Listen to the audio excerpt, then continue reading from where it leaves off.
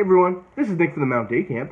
For today's arts and crafts activity, I wanted to show you guys how you can make a straw painting. Okay, so now you're probably wondering, hey Nick, what do I need for this uh, craft? Well, it's very simple. You need some paper, you need a straw, and you need uh, some water-based paint. And that's all you need. Okay, so now we got all our supplies. What we want to do is kind of make some art there. So we're gonna we have all of our straws and our colors, and blow onto the paper. Let's try it with the green. Let's try it with the red.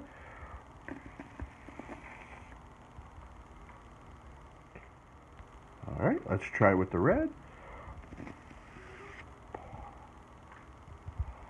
And just and eventually you will get kind of something like this, but it's up to you as you're painting, so try to be creative as possible.